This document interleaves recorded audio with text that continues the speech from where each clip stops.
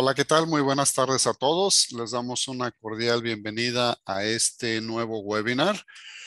El día de hoy vamos a hacer la presentación oficial o lanzamiento oficial del nuevo módulo NC2 Studio de Newtek para América Latina. Es un producto sumamente interesante, como podrán ver durante la presentación.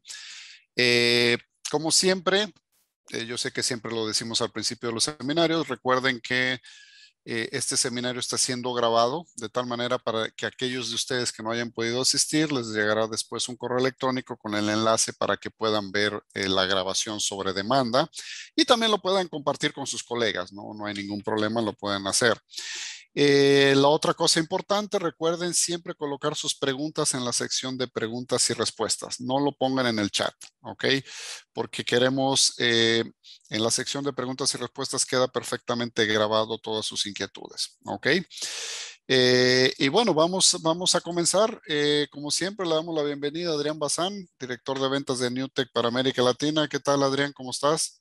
Hola, Ricardo. Hola, Diego. Hola a todos. ¿Cómo estamos? Muy bien, Adrián para variar se está escondiendo. Ah, eh, claro, y tenemos también a Dieguito Pantoni. Dieguito, ¿qué tal? ¿Cómo estás? Muy bien, Ricardo, por suerte todo, todo bien hoy para, para mostrar este nuevo equipo de Newtek que la verdad nos han estado preguntando mucho, Adrián, ¿no es cierto? Características, qué, cómo hacer esto, cómo hacer lo otro. Así que un gusto que toda la gente de Latinoamérica pueda, pueda hoy ver, ver qué se trae el NC2 Studio. Así es. mucha expectativa y por fin lo traemos. Así es, así es, sí, sí, sí. Eh, bueno, para los que no me conocen, soy Ricardo Martín, soy director de ventas de TechX para América Latina. Nosotros eh, somos los representantes de Newte para América Latina y el Caribe. Y bueno, sin más, vamos a empezar. Hay muchas cosas que tocar en este seminario, ¿sí? Eh, básicamente, ¿qué es el, el NC2? Vamos a hacerlo en español. NC2 Studio es un módulo de Newtek que tiene múltiples entradas y salidas y es lo último, nos da la, última, la, solución mejor para, en flexibilidad. Eh, para todos los que trabajan, eh, tienen estudios de producción o tienen una red NDI donde trabajan múltiples eh, fuentes de entradas y salidas, múltiples dispositivos, reciben feeds de cámara, reciben feeds de otros dispositivos que trabajan en SDI o 4K, etcétera, o que reciben inclusive fuentes de, de la red, el, el, NC2 Studio es la solución perfecta. Eh, en el estudio de producción ustedes pueden integrar múltiples fuentes. La ventaja que nos da el NC2 Studio es que nos permite manejar hasta ocho canales de video. Tiene ocho entradas de video SDI, ¿sí? Que son sumamente versátiles. O sea, por ejemplo, podemos conectar dos cámaras 4K usando conexión Quad Link, por ejemplo, si ese fuera el caso, o podemos usar también conexiones 12G, podemos conectar por 12G dos cámaras, o podemos conectar ocho cámaras, por ejemplo, en 3G por ese, eh, en SDI, en, ah, en, ¿cómo se llama? En Full HD 1080-60p, por ejemplo, o diferentes dispositivos. Pero una de las cosas interesantes en cuestión de flexibilidad que nos da el NS2 Studio es que las, los, las, los, las módulos SDI, las ocho fuentes pueden ser configuradas como entradas y o salidas. Esa es la gran ventaja, ¿ok?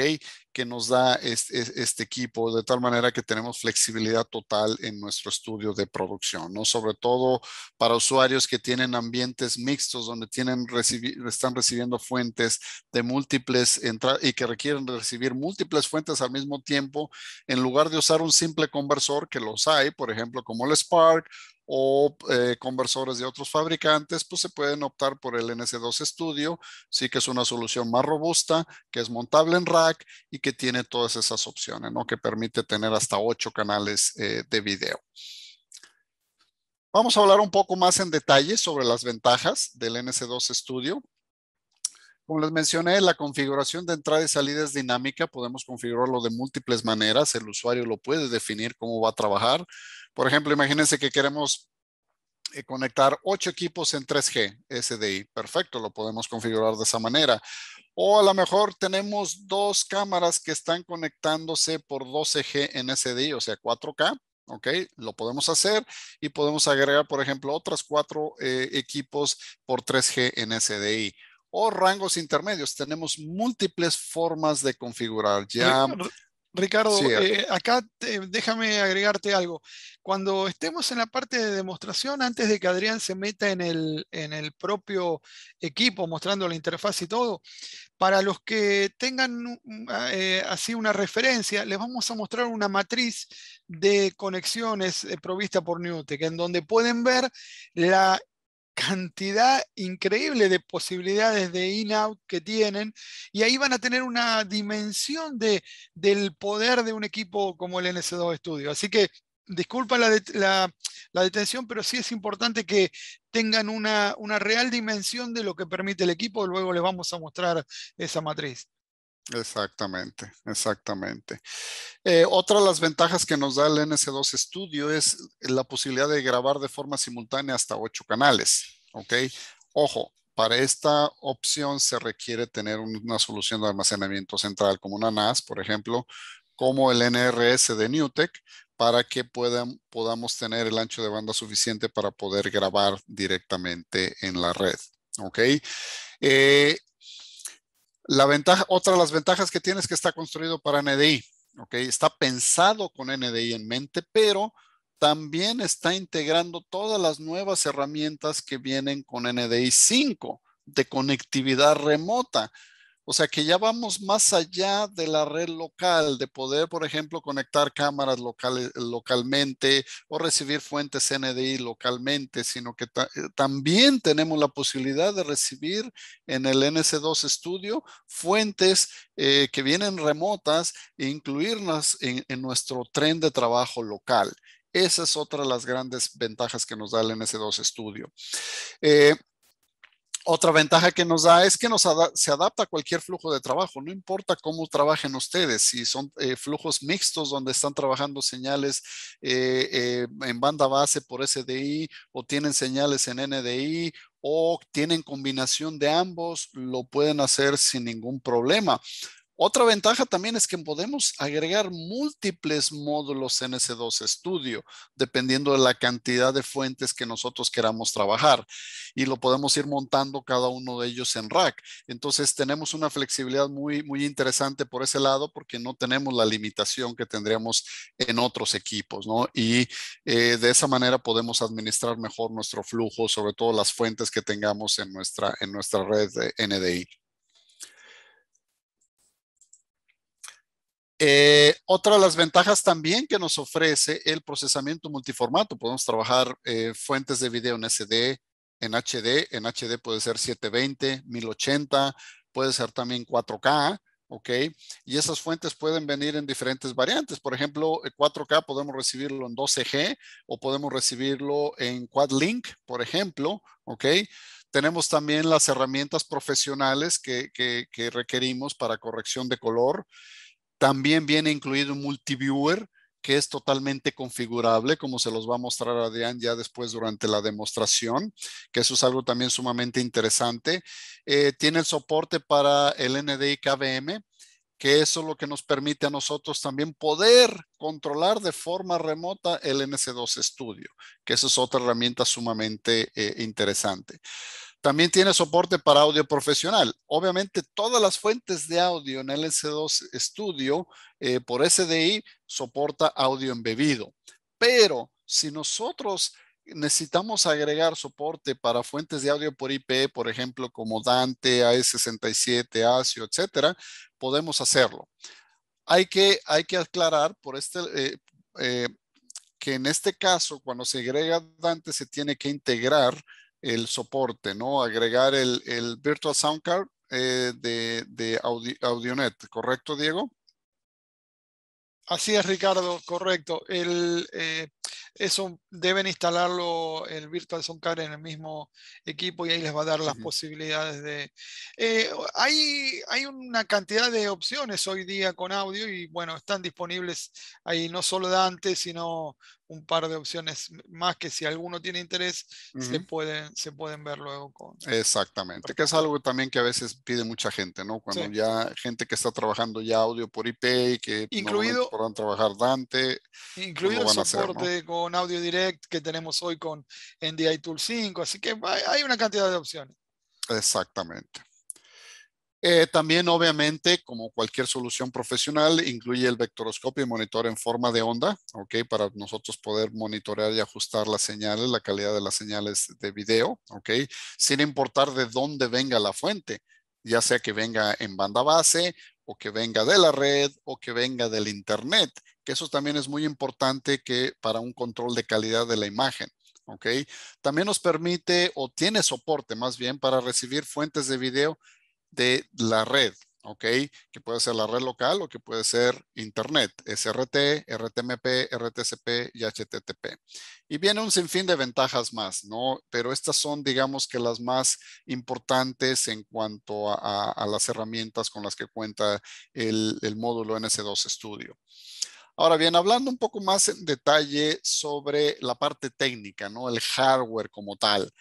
Eh, como les había mencionado, viene con ocho ¿sí? Ocho conectores SDI eh, y ese tipo de, esos conectores son del tipo HDBNC. Para la gente que quiere conectar, hacer conexión BNC tradicional, ¿ok? Se puede hacer, hay un kit opcional que se puede comprar a través de Newtek que les permite hacer la conexión a través de conectores BNC normales. Eh, las fuentes de entrada de video, ¿ok? Pueden ser eh, NDI, pueden ser SRT, puede ser SDI, banda base, obviamente. En el equipo tenemos 8, conectores, ¿ok? RTMP y RTSP. Las salidas de video del NC2 Studio pueden ser por IP vía NDI o SDI en banda base. En cuanto a estándares de video, como les ya, les había mencionado, soporta eh, definición estándar para aquellos de ustedes que todavía tienen algunas fuentes que vengan en, definición estándar. También tiene soporte para HD pasando por 720, 1080, 4K. Y 4K tiene, eh, se puede, como les había mencionado, viene con dos conectores 12G y tiene también la posibilidad de hacer quad link. ¿ok? Genlock eso también está incluido, es muy importante, sobre todo para un ambiente más broadcast, que puede ser de tres maneras. Puede ser bi-level, tri-level y también NDI, para fuentes NDI, la sincronización por fuentes NDI. Tenemos la salida para multiviewer físicamente a través de un conector USB-C, de tal manera que podemos conectar el monitor y podemos ver el multiviewer, ¿ok? Viene con dos tarjetas de red ya de fábrica una de un giga y otra de 10 gigas, que eso es muy importante, sobre todo cuando estamos trabajando múltiples canales, estamos grabando, eh, ahí quizás probablemente valga la pena usar la conexión de 10 gigas, ¿ok? Precisamente para ampliar el ancho de banda y no tener un cuello de botella. Este equipo viene ya de fábrica con fuente, de fuente redundante, ¿ok? Y como les había mencionado también anteriormente, es montable en rack. O sea, para montar en estudios podemos eh, colocarlo en rack. Y como les había mencionado, nosotros podemos colocar múltiples unidades, ¿ok? De tal manera que podemos trabajar, no tenemos la limitación a tener ocho fuentes, ¿no? Si a lo mejor mi flujo requiere tener 24 eh, fuentes, yo puedo poner cuatro unidades NS2 en el mismo rack y puedo tener hasta ocho, fuentes de, eh, digo, perdón, 32 fuentes o 24, depende de lo que queramos hacer, ¿no? Aquí vemos físicamente, podemos ver físicamente el, equipo, ¿sí? Tenemos las dos vistas, la vista frontal, ¿ok? Directamente, donde tenemos la, parte para montaje en rack, las orejas que le llamamos, y tenemos la vista trasera. En la vista trasera, aquí es donde nos, nos, interesa mucho hacer un poco más de hincapié. Si se fijan, aquí es donde tenemos las conector, los conectores de video SDI, ¿ok? Si se fijan, es el HDBNC que les había mencionado el tipo de conector. ¿Ok? Vienen nueve conectores. ¿Por qué vienen nueve conectores? Porque ocho son para video y el otro, el último, el noveno es para Genlock. ¿Ok? Para la señal de Genlock. Eh, vienen también los conectores para, eh, para los monitores. ¿Ok? Viene también el puerto, un puerto serial y viene también los, los puertos de red, gigabit y de 10 gigabits, ¿ok? Eh, corrígeme si me equivoco, el puerto es de 10 es cobre, ¿correcto, Adrián? Afirmativo, 10 es cobre. Es 10 gigabits cobre, para aclarar el punto, ¿sí? Y aquí vienen, eh, vienen los, eh, las, la doble fuente de poder redundante, ¿no? Eh, también es, si mal no recuerdo, corrígeme si me equivoco, Adrián, es hot swappable. Afirmativo, las, las fuentes son hot swappable. Lo pueden reemplazar en caliente, ¿no? De para Obviamente no las dos al mismo tiempo, pero sí. No, no, claro, si quitas las dos te quedas. Exactamente, no, es una a la vez, obviamente, ¿no? Si falla una, la reemplazan en caliente y pueden hacer el cambio y el equipo va a seguir operando eh, normalmente, ¿ok? Entonces, esto es para que se den una idea físicamente cómo, cómo es eh, el NC2 Studio. Y bueno, con eso eh, termino la parte de introducción. Ahora vamos a dejar que Adrián nos muestre físicamente, o bueno, más bien nos muestre en operación cómo, cómo, cómo trabaja el NC2 Studio, ¿no? que mayormente van a ver ahora la, la interfaz. Entonces vamos a dejar que Adrián comparta su pantalla para que nos dé la demostración. Adrián, ¿preferís que, que mostremos la matriz antes o cuando estés en los inputs eh, o en la configuración misma mostramos la matriz, como tú prefieras? Tú me vas, tú me vas diciendo. Ok, déjame entonces que voy a mostrar rápidamente, tampoco es para que se vuelvan locos con esto, es simplemente para que tengan una idea de la complejidad de, de, cómo pueden ustedes aprovechar esos ocho conectores BNC que mostraba Ricardo recién y configurar eh, tanto entradas, aquí tienen por ejemplo ejemplos de eh, usando ocho entradas que pudieran ser 3G, las ocho, o dos entradas 12G, 4 3G, y así ir ir de acuerdo a, cómo decidan tener entradas y salidas, poder, poder, tener una cantidad de combinaciones que obviamente no las vamos a mencionar, pero sepan que, y si alguno lo quiere, nos pide, le podemos pasar esta matriz para que tengan eh, disponible y, y se y a la hora de dimensionar el flujo de, de su instalación, poder determinar si con un NC2 estudio está bien para sus necesidades, si necesitan algún conversor más y, demás. Eh, aquí, aquí tienen una buena referencia de cómo pueden configurar entradas y salidas y, qué soporta el NC2. ¿Ok? Perfecto. Entonces vamos a dejar si quieren, Adrián. Tiene gran complejidad, tiene muchos, muchas formas de combinación. Realmente yo creo que es, este es el, eh, una evolución que trae muy, muy bien el, el NC2 en función de sí, sí, realmente, sí. para los que conocieron el NC1, sí, obviamente esta es la evolución natural, sí, este ya es una versión un poco más avanzada. Eh, en cuanto al hardware es muy similar en cuanto al manejo de fuentes, pero trae algunas diferencias interesantes, ¿no? Sobre todo el tema de 4K por 12G, que eso es algo que mucha gente había estado pidiendo, ¿no? El poder conectar cámaras directamente en 12G por SDI. Eh, y obviamente en software, pues obviamente, aunque la interfaz es prácticamente, yo diría, idéntica o muy similar, trae algunas diferencias importantes. Pero vamos a dejar que Adrián nos dé, nos dé la demostración. Entonces, gracias Ricardo. Eh, tenemos un, un, NC2 de 8 entradas, 8, 8 SDIs que vamos a poder seleccionar y lo primero que podemos notar es que pues podemos escoger el tipo de vista que vayamos a estar utilizando, ya sea si queremos monitorear de 4 en 4 o eh, como estaba en un principio, donde vamos a monitorear las 8 o como bien dice Ricardo, que viene las formas profesionales de monitoreo, que tú vas a poder tener tu monitor de forma de onda y vectorscopio, donde tú vas a poder, pues obviamente, poner todo lo, eh, todos los, los parámetros o ver todos los parámetros de tus señales de entrada, ¿sí? O de salida en función de NDI. Entonces, esto es algo bastante interesante que lo vamos a tener, eh, pues, presente en... Y una cosa interesante, Adrián, ¿no? Lo que había mencionado yo, ¿no? Que no importa de dónde venga la fuente, puedes usar el, el vectorscopio y monitor en forma de onda para hacer los ajustes, ¿no? Sobre todo fuentes que vienen de la red o que vienen, por ejemplo... Todo lo que esté puesto en, el, en, en tus entradas, ya sea para entrada o para salida, va a estar monitor, va a ser monitoreado por ese vector monitor de forma de onda. Entonces, eh, las configuraciones de todas nuestras redes, vamos a tener la oportunidad de, eh, como bien está puesto aquí, escoger qué tipo de señal, ya sea de entrada, en este caso sería la local, para poder eh, escoger qué tipo de SDIs vamos a querer, ¿sí? Y en dado caso que lo utilicemos para salida, aquí también es donde vamos a escoger qué fuente de NDI queremos convertir a SDI. Entonces, esta es una de las, de las cosas más interesantes y sobre todo es donde también vamos a poder eh, detectar también si, si la, la, fuente de video, qué formato tiene, Full HD o, que vayamos a, a, querer algo fijo.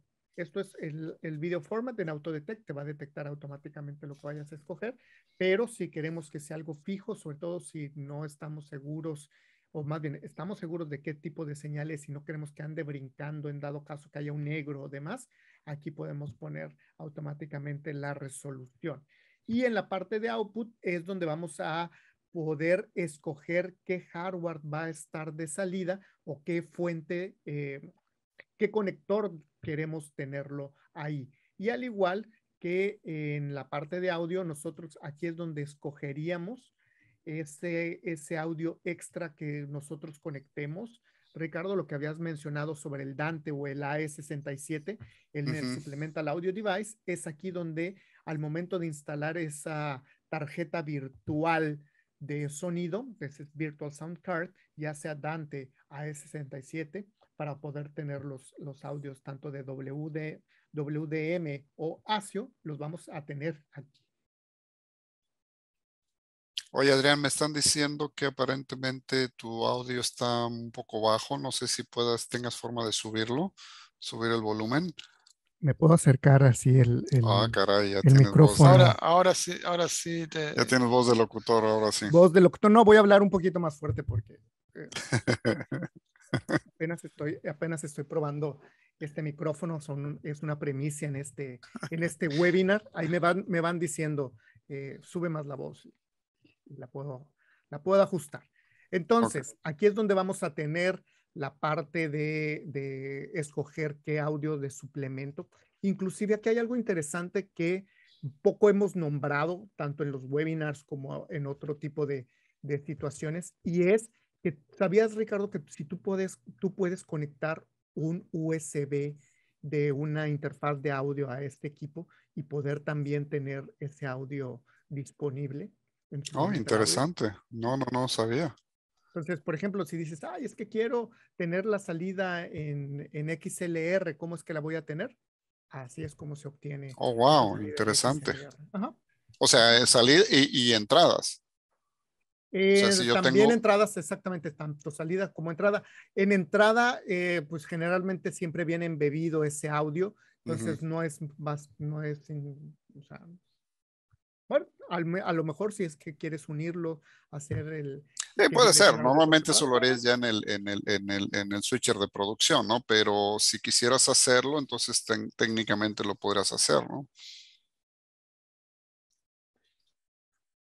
Entonces, esa es la parte, la parte interesante de acá que tenemos. Obviamente en la parte de input audio también es donde vamos a poder manejar eh, la parte que querramos eh, de los canales. Y esto es bastante interesante, es que el, el NC2 va a estar trabajando ocho canales de audio independientes, más de ocho canales de audio por canal de video para poder tú tenerlo por si tienes diferentes tipos de audio internacional o demás, quieres mutear, pudieras hacerlo aquí directamente. Eh, y otra cosa de lo que estábamos hablando en la parte de local es que también vas a poder seleccionar Por ejemplo, si te, están mandando un SRT y ese SRT lo quieres convertir a NDI para que esté disponible en, todos tu, en todo tu, tu tren de trabajo, no en un solo dispositivo, aquí con este NS2 tú vas a poder tener un SRT y convertirlo a NDI directamente aquí. O sea que ya no tienes que tener otro hardware adicional para que tome la señal o señales SRT que vengan y convertirlas a NDI para que lo uses en tu flujo o, en tu tren de producción local. ¿no? Recuerda también que eh, las SRTs pueden estar también dentro de los TriCasters, en, claro. de, cualquiera, pero ¿qué te va a limitar cuando está dentro de un TriCaster? Que solamente el TriCaster lo va a tener disponible. Es una señal IP que solamente ese TriCaster lo tuviera. Si tú quieres esa señal IP, ese SRT que esté distribuido en todo tu estudio, la opción es hacerlo por el NS2 para que se convierta en NDI y a partir de ahí ya esté disponible para todos los usuarios. Otra cosa que, que está bastante interesante es lo que estábamos hablando de que ya también puede tener configuración de NDI Remote. Entonces, directamente aquí tú vas a poder escoger qué señal de, conexión tú vayas a, necesitar y la vas a poder tener disponible. O sea que, que, tú ahí mismo abres el, el, código QR para que alguien se conecte como invitado remoto. Está muy, muy interesante eso, Adrián.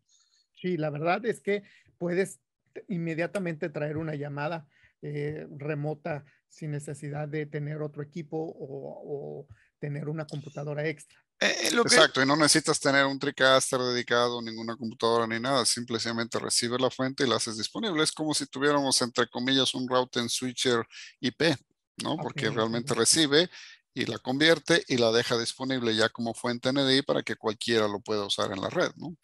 Así es.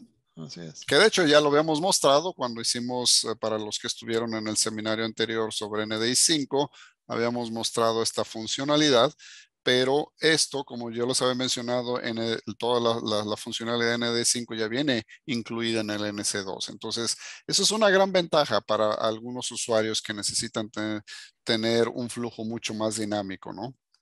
Y entonces esto que, los, que les mostraba, pues obviamente es en función de, todas, de todos los inputs. Y otra cosa interesante que eh, viene también con NDI KVM ya, ya directamente de default, por default, eh, está, está, está bien eso porque este tipo de equipos, Adrián, normalmente se instalan en los racks que dicho sea de paso ya viene con los rails eh, incluidos. Eso es algo que me llamó la atención cuando, cuando vi, no sé si Ricardo lo sabía o, no, pero me llamó la atención que, que venga con los rails incluidos.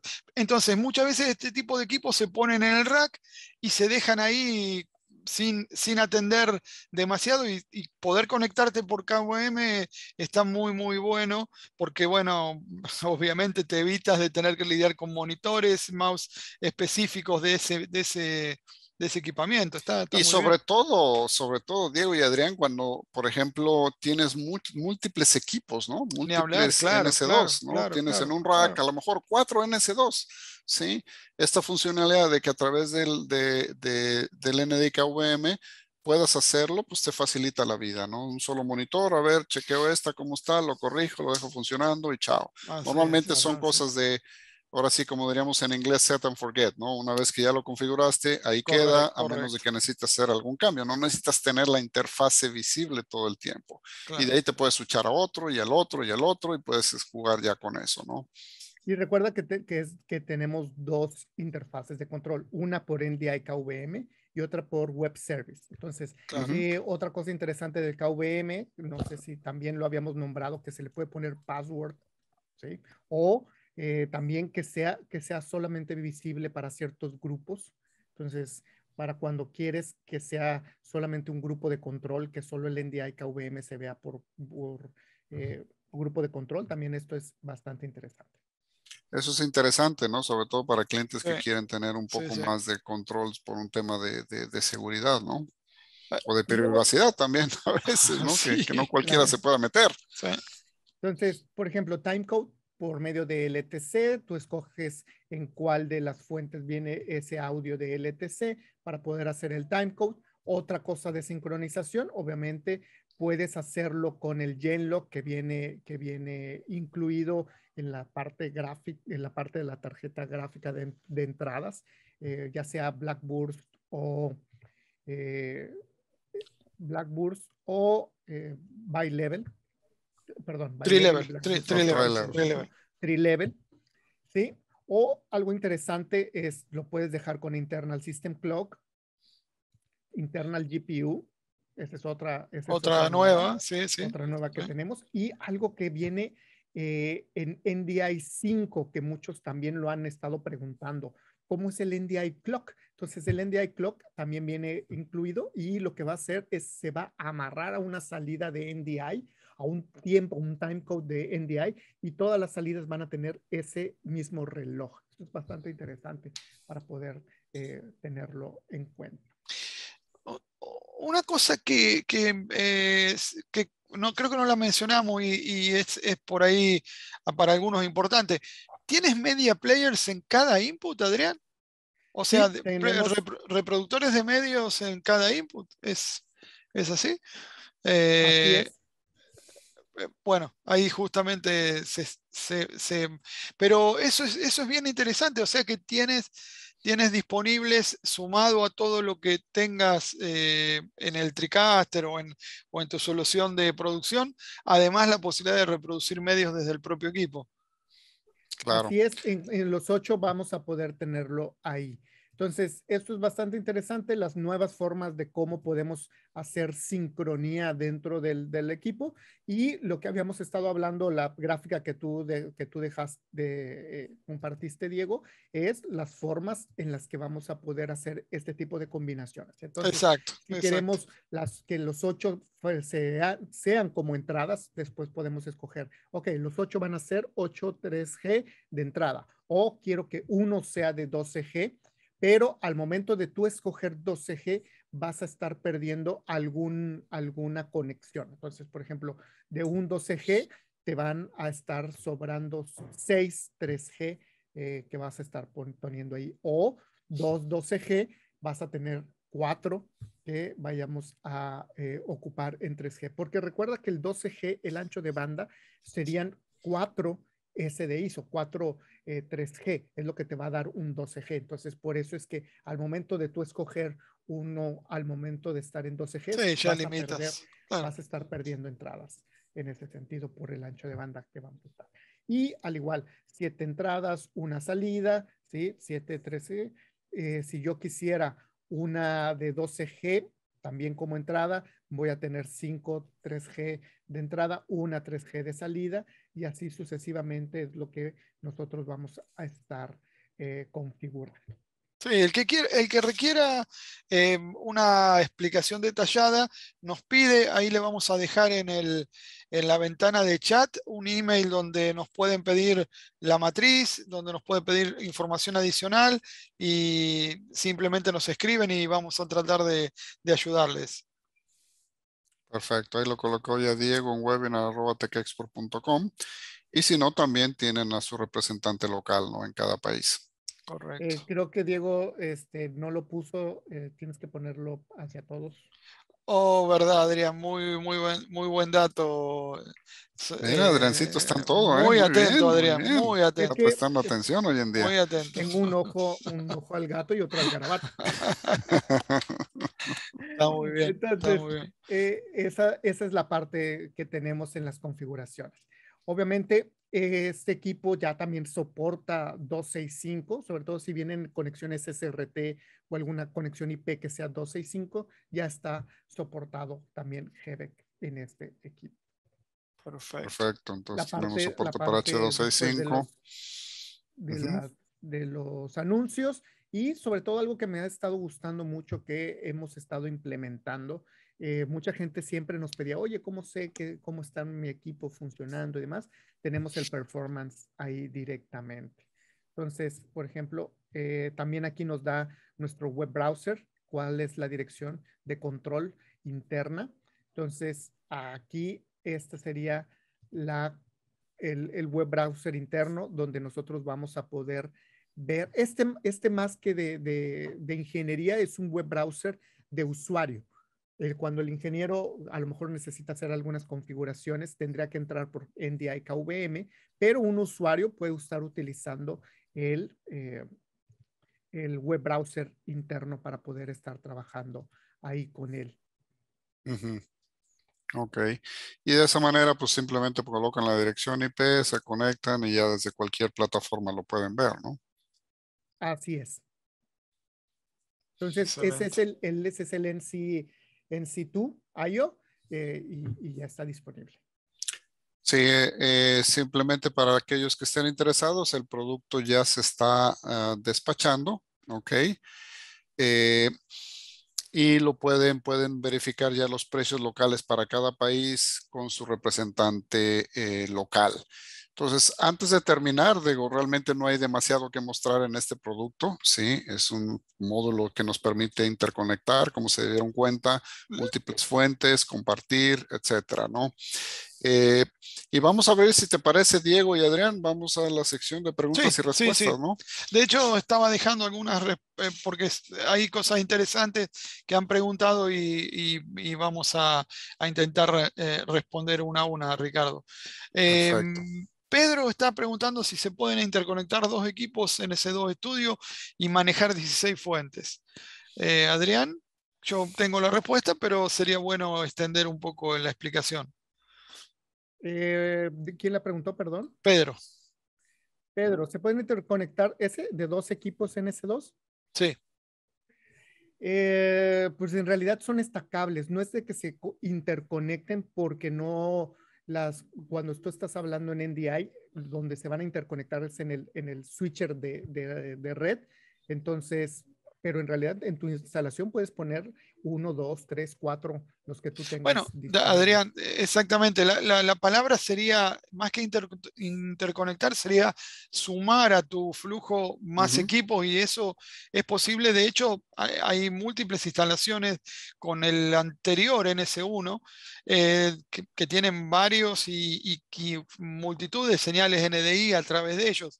Entonces, tienes que pensarlo más bien en base a tus necesidades, Pedro. O sea, en qué tipo de, eh, eh, probablemente lo preguntes por tener 16 fuentes SD o de banda base o, 12G o lo que sea.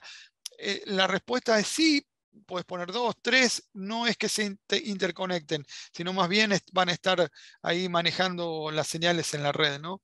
Em, hay una, esto tiene que ver con un poco con las características. Mientras respondemos, Adrián, las otras preguntas, se las voy a dejar también. ¿Hay opción para fuente HDMI? Pregunta también Pedro. Y la, respuesta, Pedro, es, eh, si necesitas HDMI, un conversor de 30 dólares eh, va bien para tu necesidad probablemente. Puedes convertir la señal HDMI a, SDI. Vas a necesitar el cable, el conector correcto para, esa entrada SDI con el cable que mostró Ricardo, pero sí es factible, lo puedes hacer.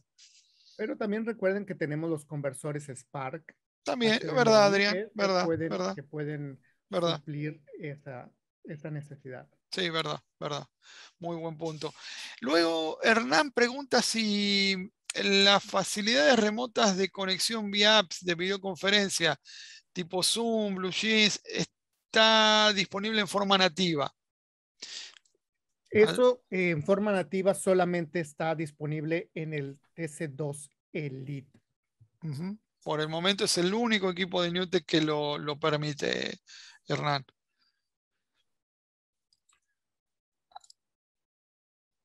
Y sí, mucha gente, eh, eh, Adrián Ricardo pregunta acerca de las posibilidades que da el TC2 Elite con, ese, con ese set de aplicaciones. Es, muy, muy interesante. La, verdad, la gente ama esa característica.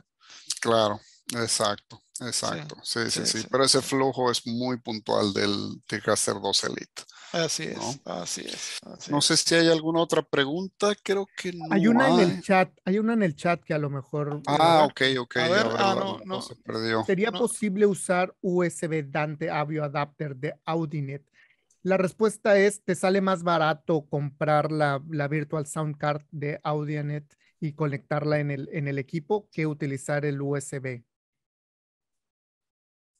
Esa sería mi, mi, respuesta. Sí, porque cuando eh, e, es el, el, Virtual Sound Card es un software que compran ustedes desde Audinet, ¿sí? Y eh, lo instalan en, en, el, en el NC2 Studio y de esa manera habilitan toda la funcionalidad de Dante. Ok, y no es nada caro, por cierto, ¿no? Para aquellos que, lo, que, lo, que les interese. Creo que creo que la versión, la licencia perpetua, creo que son 49 dólares con 95 centavos, una cosa así. No, ah, es, bastante, es bastante económico, que te va a salir mejor que, que tener. Eh, sí, la, la interfaz. La interfaz de audio. Así es. Perfecto. Ok. Eh, bueno, yo creo que con eso llegamos a la parte final. No queremos alargar demasiado este, este seminario, ¿sí? Eh, déjeme, voy a la última pantalla simplemente para aquellos que, eh, dame un segundito, vamos a compartir esta.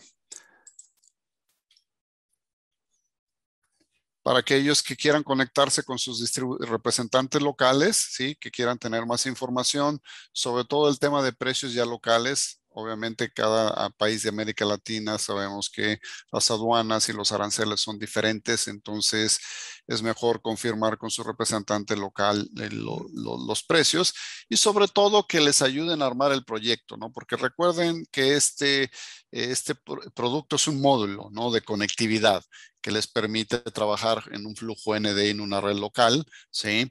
Y que pueden trabajar junto con otros switchers de producción, TriCaster, pueden trabajar con Triple, pueden trabajar con otros equipos, inclusive de otros fabricantes, no hay ningún problema, pero al final del día es un módulo de conexión, ¿no? Entonces, para cualquier pregunta puntual sobre cómo armar un proyecto para su red, lo que sea, que necesiten tener múltiples eh, fuentes de video, eh, de entrada, de salida, lo que sea, pues ahí les recomendamos contactar a su representante eh, local.